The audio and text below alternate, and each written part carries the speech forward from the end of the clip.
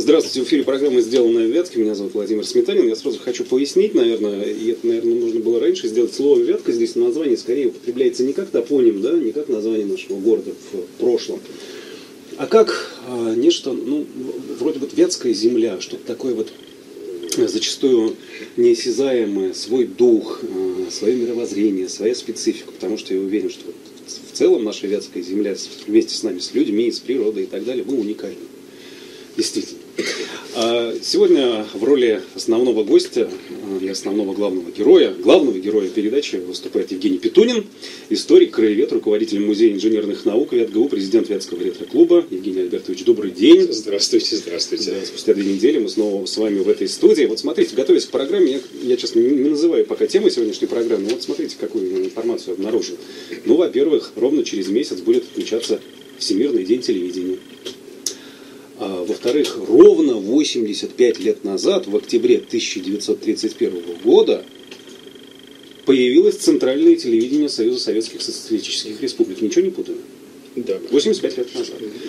Ну и вот уже пора озвучить тему. Сегодня мы будем говорить о истории телевещания как раз-таки в нашем регионе.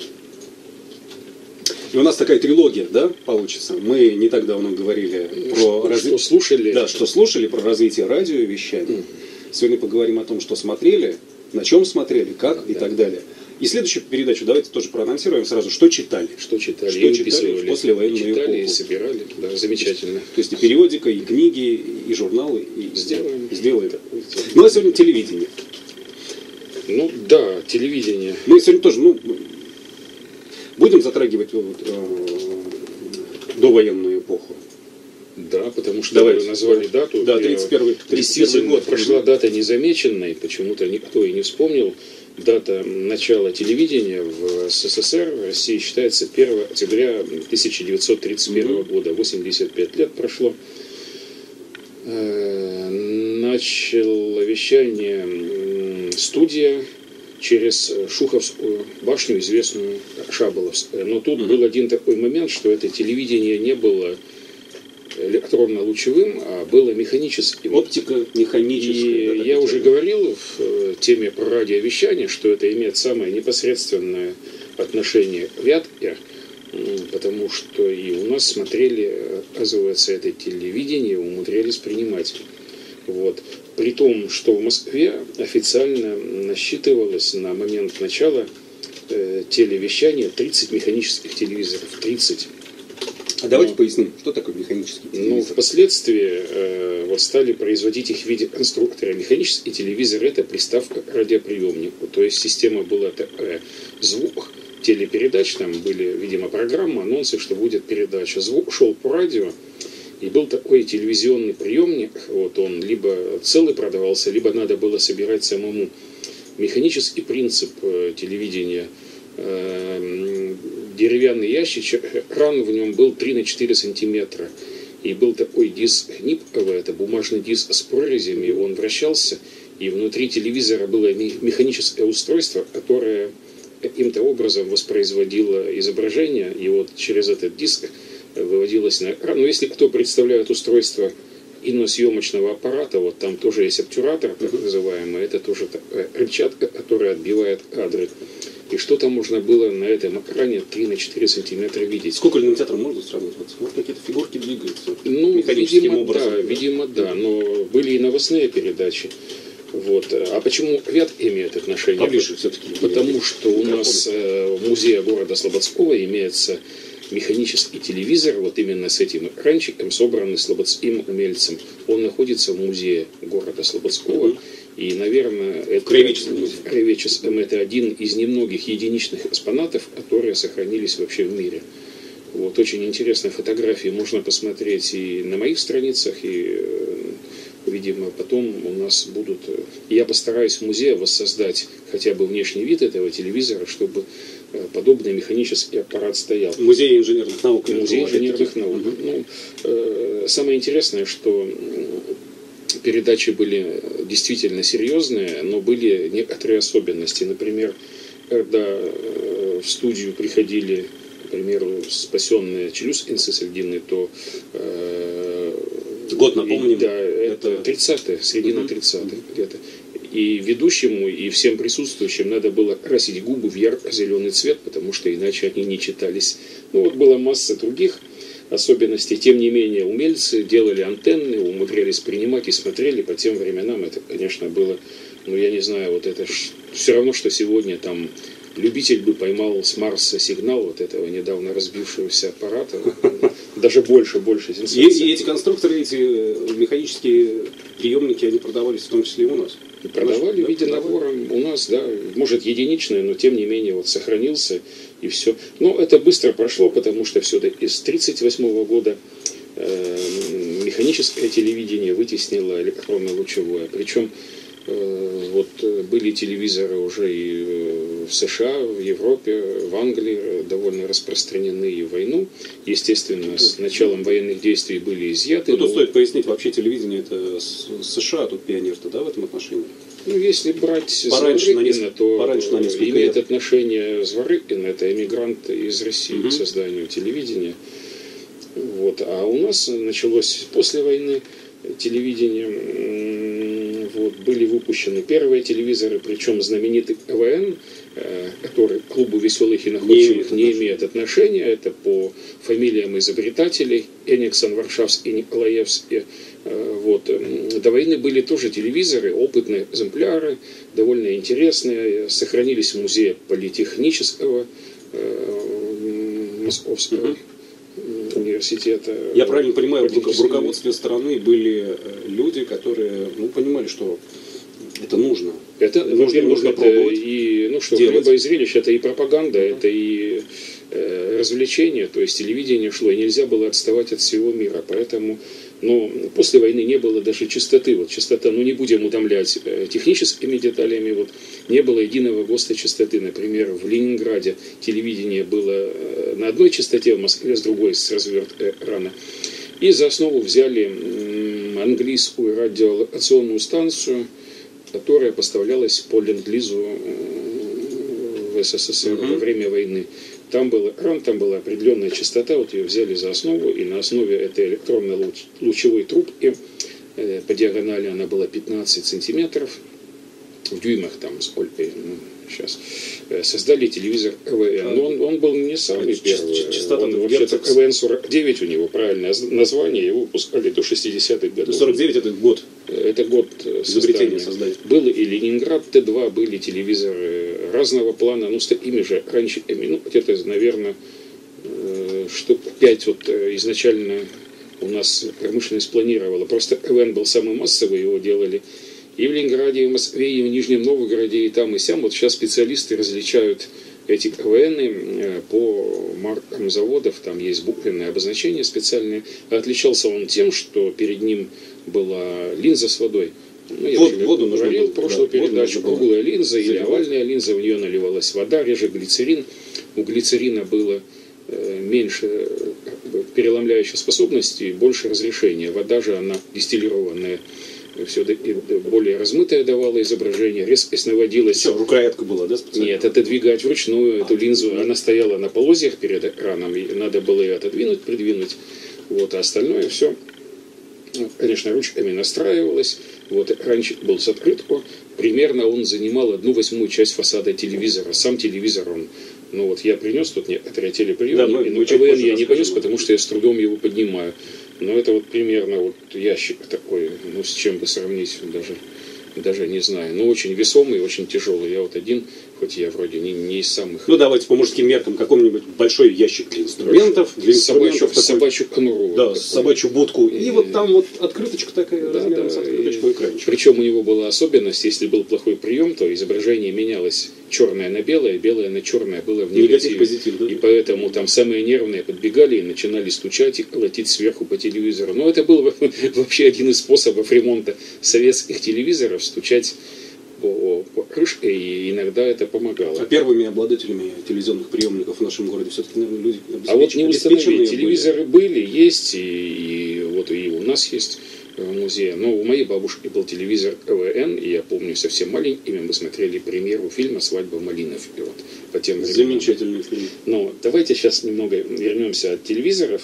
Мы начнем все-таки, мы забежали вперед, а с чего начиналось у нас? Ведь надо было что-то смотреть на этом КВН, поэтому Э, нужен передатчик. Нужен передатчик. Поэтому в 1954 году в Ирове собрались энтузиасты, любители телевидения, как бы сейчас сказали, продвинутые люди, и э, озвучили идею, что надо открыть любительскую телестудию. Вот. Они, видимо, обратились в то правительство с такой идеей. Э, это было принято к сведению, но уже в ту пору по разным регионам, по областям, как считалось тогда, э, стали массово появляться телевизионные студии. Угу. Вот, и свои пока, не централизованные, да, свои местные. Э, и местное у нас руководство области, видимо, оно сообщило Москву, что вот есть энтузиасты, есть намерение открыть любительскую телестудию. Ну, видимо... Мол, дайте денег. Или нет? Или, разрешение, или прежде всего разрешение, с деньгами вопрос решался. Аппаратура. На что они сказали, а зачем вам, собственно говоря, любительская, давайте мы откроем в Ирове профессиональную, настоящую студию.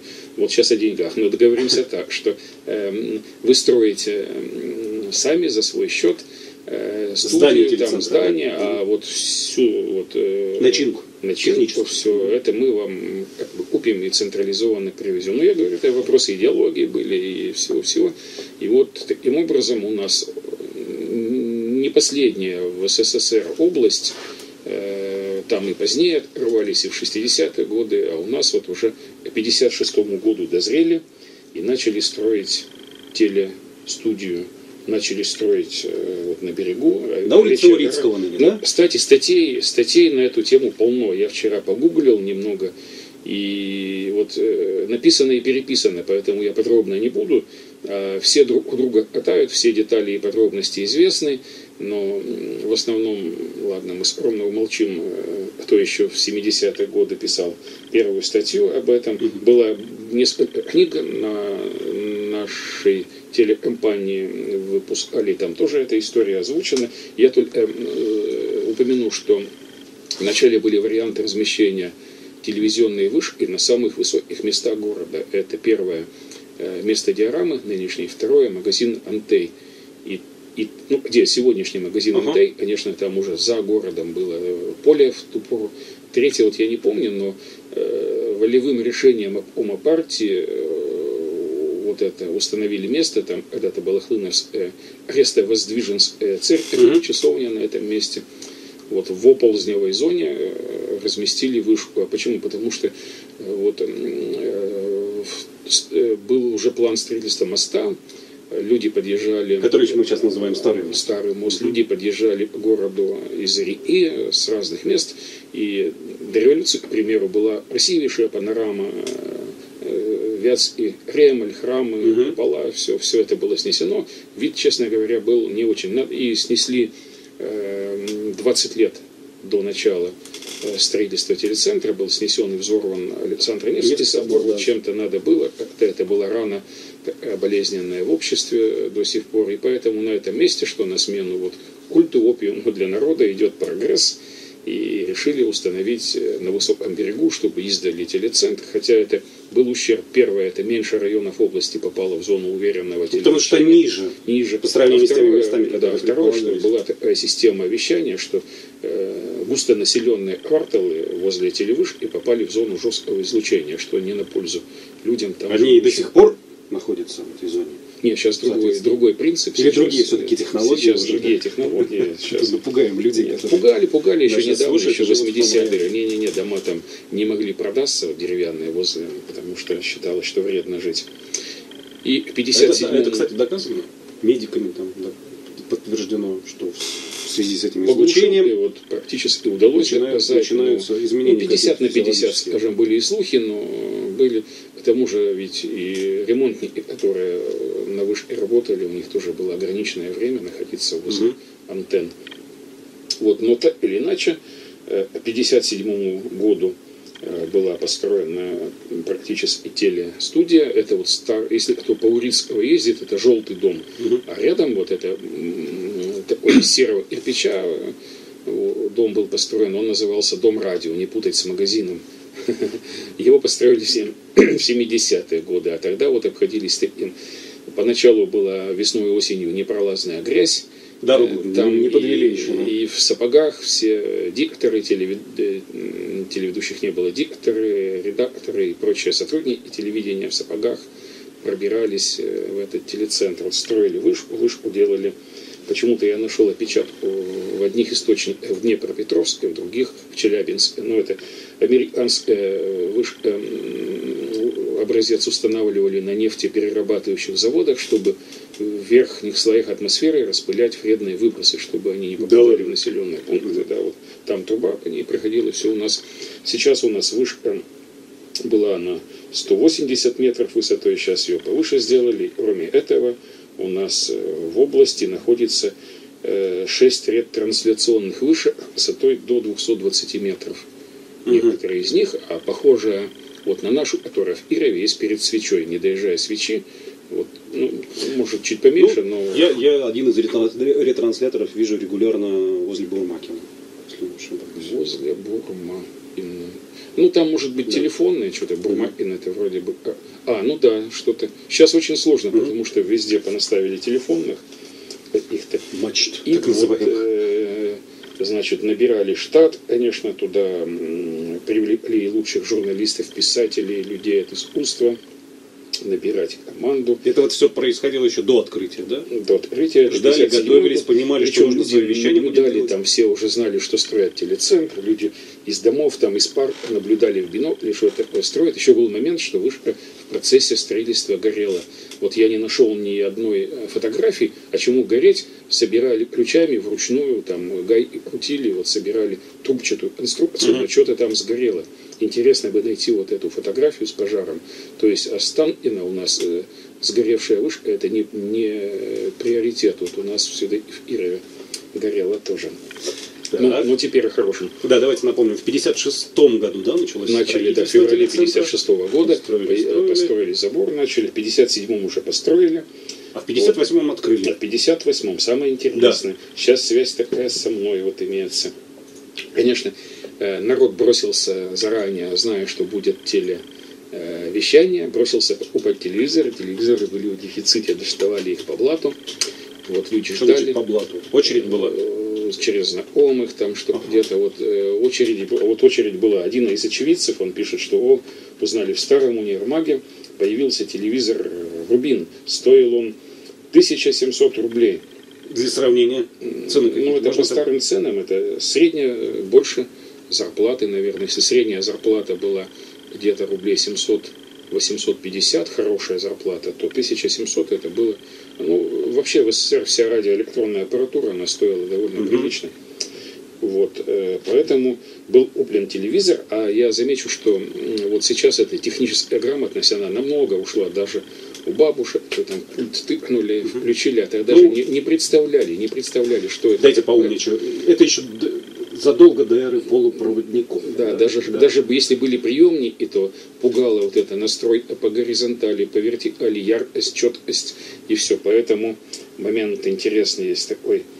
Э, Я родился, открою тайну нашим э, радиослушателям. В год Родился я Открытие. 20 апреля 1958 года. В этот же год, 20 апреля 1958 года, состоялась первая попытка телевещания.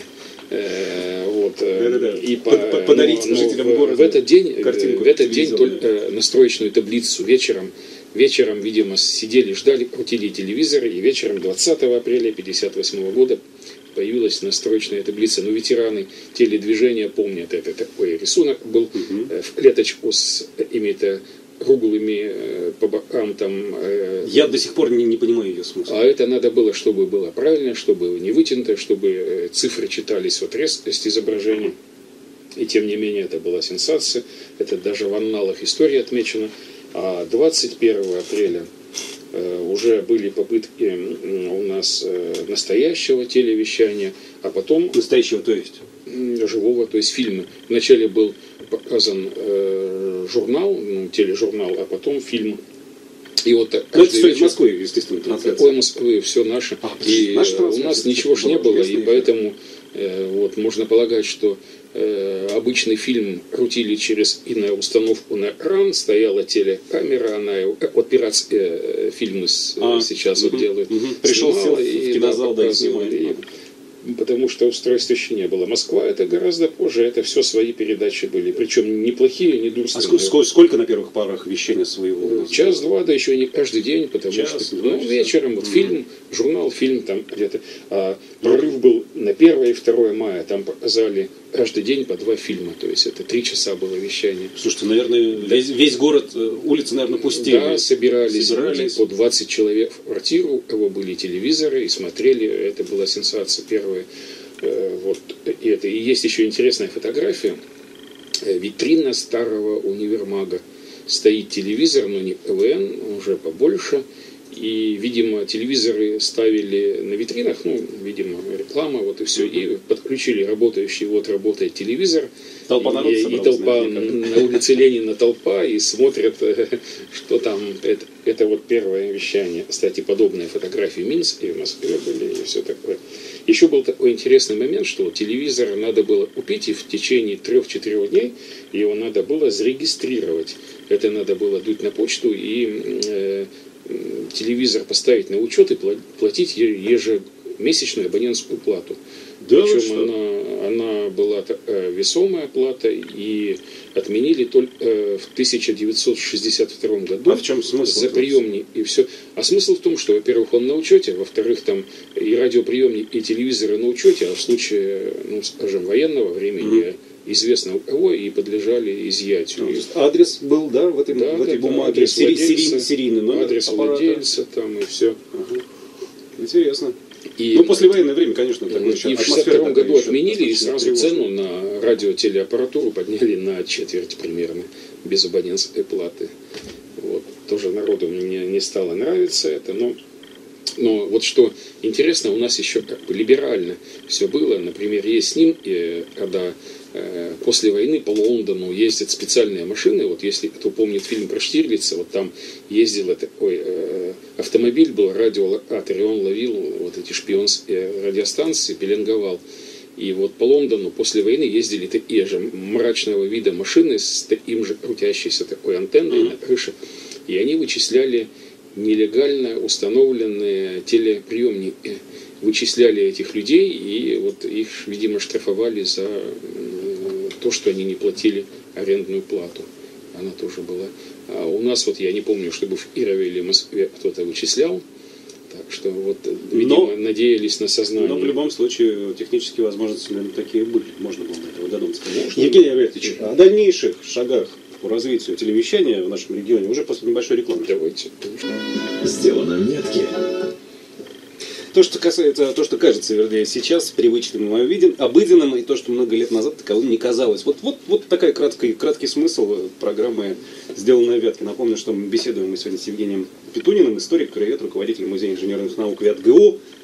Наверное, спрашивает кто-то из наших слушателей сейчас, задается вопросом, где находится Преображенская, Бывший дом политпросвета, Преображенская, вот. 41. Так что если у кого-то есть ненужные старые советские телевизоры, приносите прямо туда, будем рады. Музея сохраним для истории. Да, про историю телевещания в нашем регионе мы сегодня говорим, вернее, Евгений Альбертович рассказывает. Да, вот Зафиксировали, 58 год, Ну, открытие нашего Кировского телецентра. Ну, открыли, и пошло и поехало. Массово, массово начали набираться. Вот я хотел еще отметить такой момент. Ну, что за названия сейчас у телевизоров? Там Samsung, LG, там, ну, были Gold Star, а вот в СССР какие были названия? Я выписал самые яркие. Телевизоры. Авангард, Адмирал, Буденовец, Вальс, Вечер, КВН, уже про него говорили, Нептун, Ради, даже Рембрандт, или Рембрандт, как правильно, Рембрандт. Рембрандт, Рубин, Садко, Снежок, Спартак, Трембита. Вот это из редких названий. Вот Ну, это конечно, не- не выдумка, все у нас. Вот, например, если производили в Нижнем Новгороде или там во Владимире, они в Киров везлись, а редкие телевизоры типа Енисей уже были там в Красноярске, а у нас их не знали. Ну, это за За- Уралом уже. Зато, думаете, рекламы не было. Была реклама и очень удачная. Вот, например, я нашел такую рекламу в СССР. Пусть, вот похоже на сегодняшний день, пусть снег и дождь на целый день закрыли нас в квартире, мы не грустим, у нас весна, весна 304. Весна 304 Это- это, довольно посредственный неказистый телевизор черно-белый третьего класса, но вот такая была реклама. А, Зато- кстати, классность вот эта. Да, да, да. Многие ведь уже забыли, это первый, второй, третий класс. Это от чего зависело? от, от сложности, от э, качество. Ну, Сложности нулевой класс качества был. от Это использу- высший от класс используемых радиоаппаратуры, материалов. телевизор высшего класса я не помню. Но телевизоры были, конечно, вот по категориям, потом э, хороших не было, считался Рубин, Горизонт, Изумруд, вот получше. Я помню, что в доме радио, еще я из армии пришел в 70-е годы, ветераны с корочками дрались у кабинета заведующей, что вот телевизоры, и это рубины там цветные выбросили, они закончились, они только ветеранам, остальным вот это вот сейчас вот не понять. А там были похуже вся э, уже там горизонты и еще какие-то вот их меньше хотели, хотя по большому счету не отличались. Мы пока все еще о черно-белом телевидении говорим. О цветном ну, были такие попытки создать э, цветное телевидение. Раскрашивали красками экраны. Нет, специальные пленки продавали в радиомагазинах, и они как бы наклеивались на экран телевизора, на стекло перед экраном. Они были вверх голубое это небо, середина зеленая, там типа трава, и э, низ там красно-коричневый, это типа почва. Иногда совпадало, но иногда вот на эти зеленые рожи смотреть Иногда смешно, фильмы. конечно, было А смотрели были такие сериалы, что действительно дворы пустели, улицы пустели, все смотрели вот, ну и не только про Штирлица, и тени исчезают в полдень. Любимый детский сериал это «Четыретон» и «Стей собака», конечно, радовали в 60-е годы. Каждое новогоднее каникулы вот знали там и разбирали наизусть, но тем не менее и наши были передачи. А наши передачи как развивались? развивались? Их становилось все больше. Да, вот сейчас Тематика. я замечу, что практически не осталось местного телевещания. Тогда была масса местных передач. Были знаменитые, вот прославился тогда знаменитый милиционер и Марат Львович Эпштейн, который вел э, передачу «За все в ответе». И, Напомните, самый первый, да, милиционер? Ну да, первых? вот а потом стали и там гаишники вести, Мальков там такую передачу, еще кто-то. Люди попадали в экран, они становились, конечно, очень раскрученными, невзирая на и это обстоятельства. Ездили ведь, это был ужас кошмар, была бригада, это представьте затраты. Автомобиль УАЗик, там сидит э, телеоператор, режиссер, осветитель с прожекторами, звукооператор с магнитофоном на шнурах. Вот 5-6 человек, бригада выезжали, чтобы снять, э, там кормят поросят или э, эту силосную яму э, бульдозер зарывает вот в грязище, куда-то все это встречали. Надо было разматывать шнуры, провода. А камера была настолько тяжелая, что на руках ее оператор не мог держать. У него была нагрудная бляха такая, с таким отверстием. Камера на штифте вставлялась, чтобы он ее на весу не держал. Люди, представляете, звуки и, и- и картинку отдельно писали. Да, двигаться Кошмар. нельзя было в кадре, надо было стоять. Вот э, когда-то у Марка Твена есть э, книга, я редактировал э, сельхозгазету, я когда-нибудь на пенсии напишу, я редактировал сельхозпередачу, потому что удалось мне немного поработать. Как называлась сельхозпередача? Э, Кран животновода, Экран животновода? да, зеленый конвейер, Сильно. природа и мы там и прочее, прочее. Вот были передачи. Сейчас ничего не осталось, может даже и жаль. Вот. Ну, тематика должна была быть строго определенной, Конечно, что конечно. мы догоним и Всё давал, перегоним. Партии давал указания, Да. что там, чего, потом все это транслировалось. Но я, опять же, телевизором, а еще не было... А, появились первые цветные, они были Тогда примерно вот по хронологии. 80-е 80-е годы. годы. Они были огромные, они были еще ламповые, они весили, ну, ну, чуть меньше центнера. Вот если кто-то заезжал, то вдвоем на там третий, четвертый этаж эта проблема была затащить. Цвета были бледные, цвета были, ну, условные. Такие вот, очень похоже, знаете, вот старые советские цветные фотографии, наполовину выцветшие, такие в альбомах Ага. сохранились. Еще вот такие на наших, вот примерно так же были. Конечно, шедевр считался почти импорт, это телевизор Шилялис, это было у Как, сам- как? Шилялис. Шилялис. Слушай, Это, был, даже это был латвийский телевизор, в Прибалтике производился, вот у меня даже был маленький, маленький, он до сих пор жив, черно-белый, но были цветные, они были почти импортные.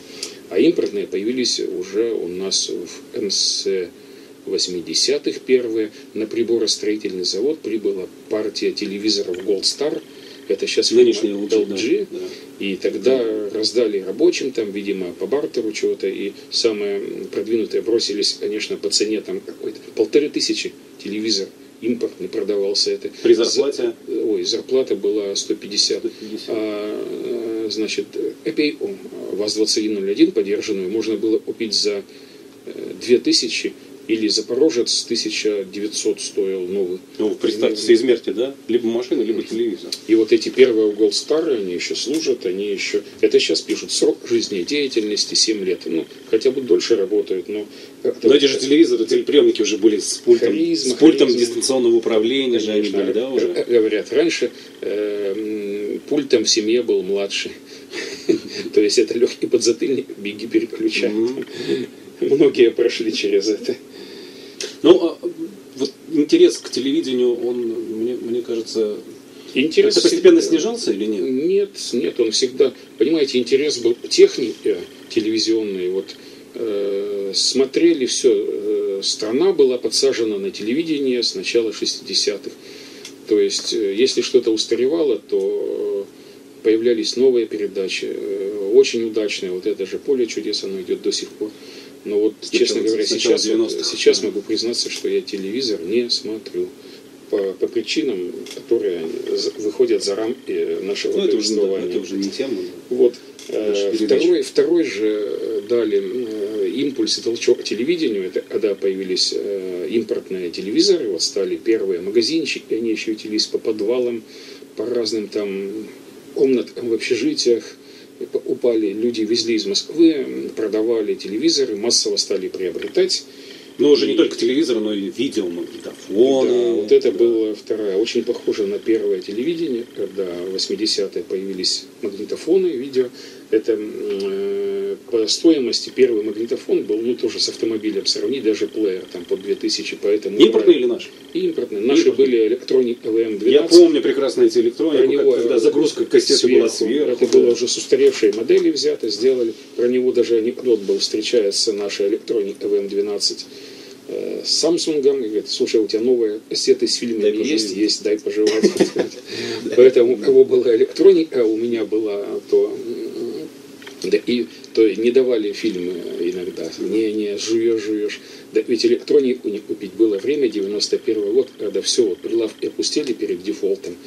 И мне э, лично мэр тогдашнего города Анжели Михайлович Михеев написал записку в магазин электроники, это напротив Дворца пионеров, что мы работали в газете «Выбор» тогда, и надо было для новостных программ, но мы там сочинили там для чего Легенду, в было. общем, придумали. И нам вот, и я поехал туда, и там этот директор, он весь не мог э, по записке мэра э, там отказать, он весь там потел, краснел, бледнел, и у него два этих, всего лишь два видеомагнитофона, электроник МВМ-12 стояли э, в кабинете, один темный, второй светло-серый. Вот Мгм. это он мне достался, конечно, поработал, но ничего я не могу про него особо позитивное сказать, но люди продвинутые брали на троих, на четверых тогда э, была такая тенденция, и, например, э, одному дорого ты смотришь два дня, потом отдаешь следующему, он следующие два дня, потом вот это была эпопея, открывались первые видеосалоны, которые